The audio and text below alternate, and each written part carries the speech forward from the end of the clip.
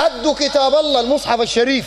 ادوا له واحد كافر الدبلوماسي الأمريكي واحد من القائم بالأعمال الأمريكي. ادوا المصحف كلام الله جت ادوا له وده حرام. كما ذكر الإمام النووي في كتاب المنهاج شرح صحيح مسلم من الحجاج.